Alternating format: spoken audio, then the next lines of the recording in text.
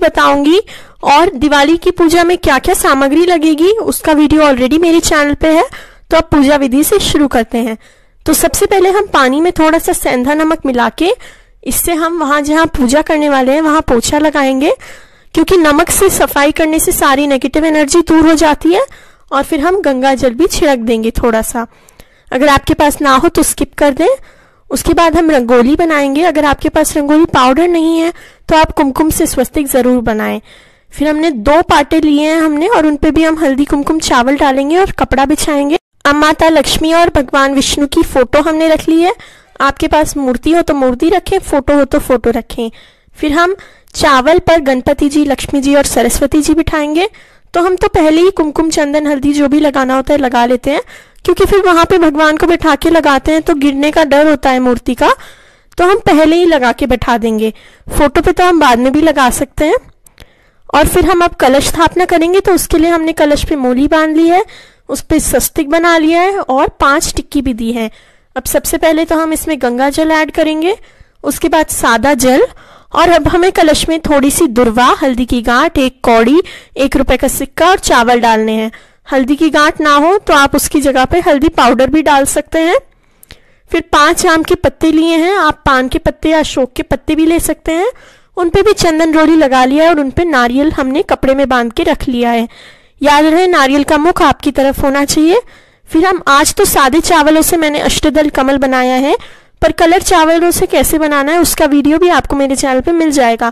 थोड़ा डिज़ाइन वाला अगर आप बनाना चाहते हो अब नवग्रह नवग्रह के लिए या तो आप ऐसी फ़ोटो ले सकते हैं, ये हमने दस रुपए में बाज़ार में बनवाई थी, या फिर चावल से ऐसे बना के उन पर सुपारी भी बैठा सकते हैं। बट हम सुपारी नहीं बैठाते हैं, और यहाँ हमने षोडश मातृका भी बना ली है, और नवग्रह भी बना लिए हैं। अब हमने जो आठ कुल्हड़ ली थी, उसमें हमने अष्ट धान्य भर लिया, जिसमें धनिया था, उसके ऊपर हमने चांदी और सोने का सामान भी रख लिया है। अगर आप इतना सा नहीं रखना चाहते, ज़्यादा रखना चाहते हैं तो आप एक ज्वेलरी बॉक्स में करके उसे रख सकते हैं। फिर हम भगवान को कुमकुम का टीका लगाएँगे, चंदन का, हल्दी का सबका टीका लगाएँगे। भगवान विष्णु को भी और लक्ष्मी जी को भी। ये देखिए, फिर हम गणपति जी को जनेऊ पहनाएँगे, विष्णु जी को जनेऊ पहनाएँगे और सभी भगवानों को मोली पहनाएँगे।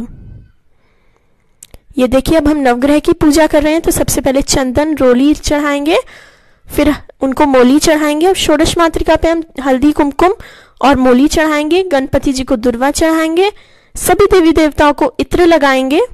अगर ना हो तो आप स्किप कर सकते हैं। फिर हमने लक्ष्मी माता को पाँच कौड़ी और पाँच कमल गट्टे और उसी के साथ साथ ग्यारह गोमती चक्र चढ़ाए हैं। आपके पास जितने हो आप उतने चढ़ाएँ और अगर ना हो तो स्किप कर सकते हैं। फिर हमने फूल चढ़ाए हैं। अब नवग्रह पर हम एक पान सुपारी लौंग इलायची का प्रसाद चढ़ाएँगे और षोडश मातृका पे एक पान इलायची और लौंग का प्रसाद चढ़ाएँगे। उसी के साथ साथ फूल चढ़ाएँगे। और ये देखिए, हम सोने चांदी के सामान की भी पूजा करेंगे। फिर हमने माता के आगे अष्टदल कमल बनाया और उस पर हम हमारा घी का दीपक जलाएँगे। फिर जो हम नई किताब खरीद के लाए हैं, उस पर भी हम रोली, कुमकुम, चावल सब लगाएँगे। अंदर एक स्वस्तिक बनाएँगे, हल्दी डालेंगे, चावल डालेंगे और अगर आपके पास पान का पत्ता भी है तो वो भी ज़रूर रखें। इसी के साथ साथ पाँच रोली की टिक्की दे देंगे और किताब बंद करके उसे भी हम हमारे पूजन ग्रह में ही रखें, जहाँ पूजा कर रहे हैं, वहीं रखेंगे। फिर हम सारी जगह मूंग चावल भी चढ़ाते हैं इससे हमारे यहाँ आखा देना कहते हैं। और इसी के साथ साथ ऐसे ही हमें खील भी चढ़ानी होती है। फिर ये देखिए, हमने छोटी सी चक्की, ये ओखली, सिलबट्टा, चूल्हा और तुलसी गमला लिया है। तो इनकी पूजा भी ज़रूर करनी चाहिए। पुराने जमानों में तो असली होते थे, जैसे सिलबट्टा, चक्की तो असली की पूजा करते थे। अब कई लोगों के पास असली सिलबट्टा, चूल्हा, चक्की तो होता नहीं है तो आप ऐसे छोटे छोटों की कर सकते हैं। या फिर आप अपने असली गैस स्टोव की मिक्सर ग्राइंडर की, तुलसी गमले की, ओखली की पूजा कर सकते हैं। बट हम यहाँ छोटे से ये भी रख लेते हैं और असली वालों की भी पूजा कर लेते हैं। फिर हम अब एकदम सामने पाटे के छोटा सा हल्दी से कुमकुम का स्वस्तिक बनाएँगे। हल्दी कुमकुम से। उस पर भी चावल चढ़ाएँगे। और उसमें हम हमारा बड़ा वाला दीपक रखेंगे, उसकी भी पूजा करेंगे। जो सारे हम बाद में दीपक जलाते हैं ना, ग्यारह, इक्कीस, इकतीस, जितने भी जलाते हैं उनकी पूजा कैसे करनी है अच्छे से और उन्हें कहाँ कहाँ रखना है, किस किस के नाम के निकालने हैं, वो हम एकदम सेपरेट वीडियो में आपको अच्छे से सिखा देंगे। फिर हम दक्षिणा भी चढ़ाएँगे। ये देखिए, जो ये दिए हैं, ये हमें इनका पूजन करना होता है। अब उसका वीडियो मेरे चैनल पे आपको मिल जाएगा।